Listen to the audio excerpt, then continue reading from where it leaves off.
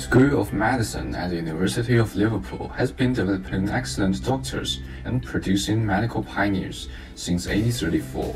Students have developed their confident practices of clinical assessment and procedures, as well as cooperating ability and leadership here.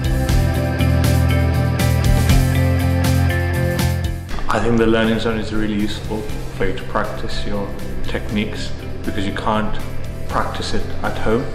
Here they have all the things you need to do well in the exam and hopefully to be a good doctor as well.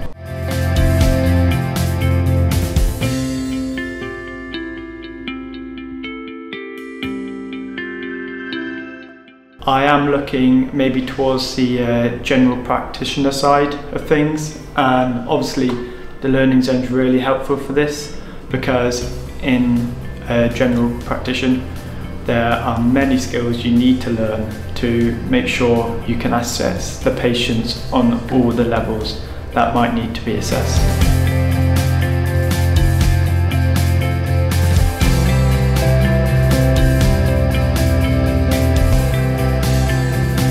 I think my favourite clinical skill is probably blood pressure because you can always check it against the electronic reading and that was really satisfactory if you get the right reading and it takes quite a lot of skill as well to hear for the sounds so yeah I'd say blood pressure.